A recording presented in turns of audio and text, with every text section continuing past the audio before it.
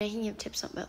Um, for social anxiety, um, slowly like try to do things that make you like step out of your comfort zone, and then it'll start to get easier, I guess. Um, surround yourself with people and make sure you're going out and hanging out with friends, even though you don't want to, but it's gonna help.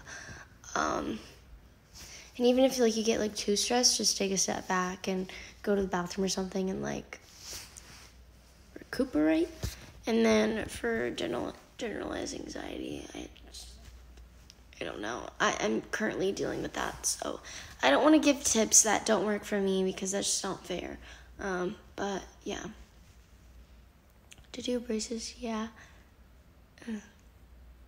You deleted your Twitter account. I deleted Twitter. I didn't delete my account. My account's still up, and I will be, um, Probably be back once I'm in like the right mindset for Twitter. Twitter's like a whole other app. Um, it's very hateful and,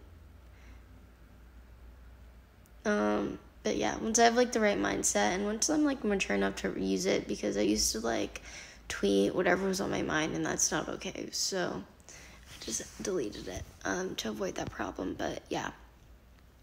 Are you and Charlie friends? Yes.